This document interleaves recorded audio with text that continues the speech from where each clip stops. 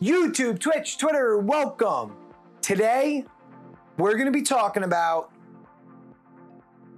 the Dark Rock Pro TR4.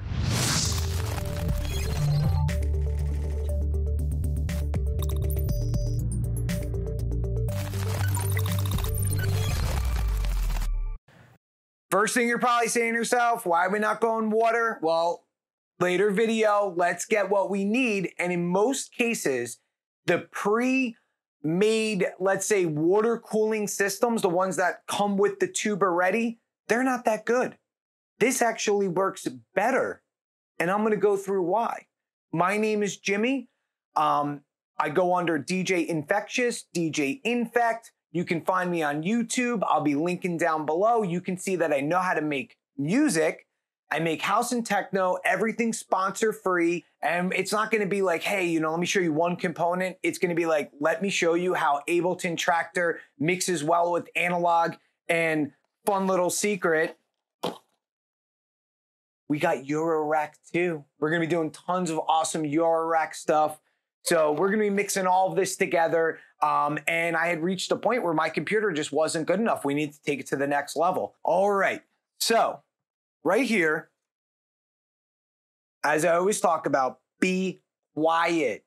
Okay. no, no, don't actually be quiet. I hope you're jumping for joy right now. This is a brand, Be Quiet.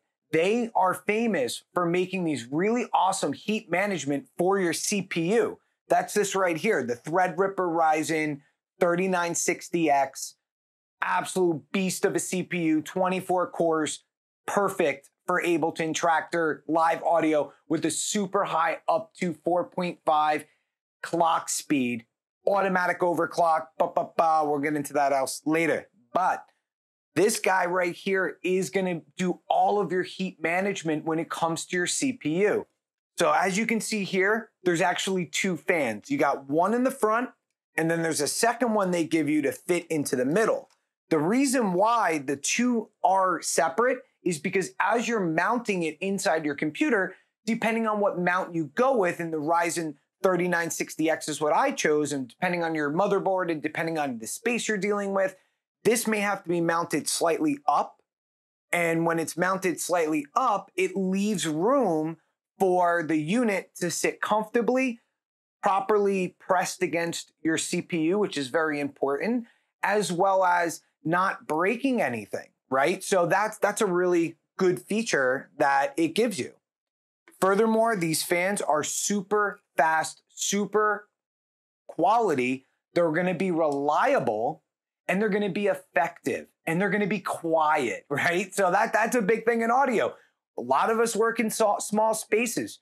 Check out, you know, my intro video for this, uh, you know, for this channel. You'll see I work in a very small space, very small bedroom. If I'm recording vocals, I can't have that background noise, you know, going in the background when my computer sound like a spaceship. So having a really quiet fan, very important. So here's the thing. There's a special technology here that there's some sort of metal here. I don't know the exact, they don't exactly say like what their secret recipe is, but it keeps, again, it keeps the CPU cooler than a pre-made out of the box water cooling system. And it allows good airflow for your RAM.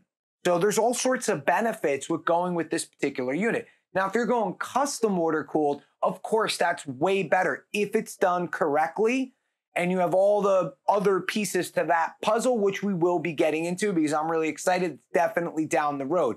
But right now, I just need something reliable. I can't be worrying about, you know, my computer having a leak, or I can't be worrying about my computer you know, needing the, the pipes cleaned. I mean, I'm not a plumber here. I'm trying to make music, focus on my creativity, and I'm getting something with great reliability. So, anyways, right here's your mount. It and again, by going with the right brand, everything is pre-tested, making sure that it's going to work the first time around. Plop it on. There's certain screws. Uh, there's a great instruction manual that you have to follow easy peasy. You've got great cooling on your CPU.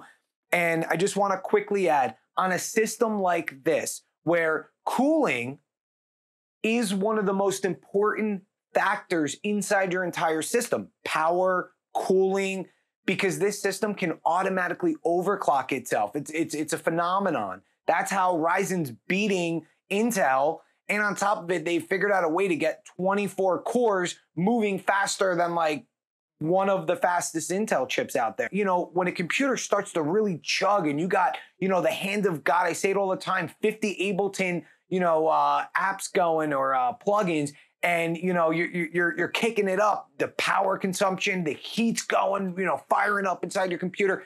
It needs to be balanced. It cannot get hot. You cannot deal with latency. You cannot have a hiccup. You cannot have, you know, some weird outer space sound added in. I mean, maybe that could be cool, but in most cases, it's it sounds like static, just the whole track turned into static because your computer got overheated.